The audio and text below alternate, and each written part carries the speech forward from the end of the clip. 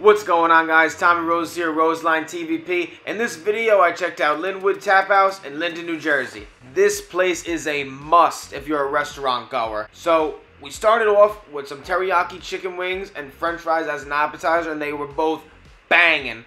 But what I've been hearing the most about this place is the pizza. So I ordered a tap house pie, which is very recommended, and a plain pie.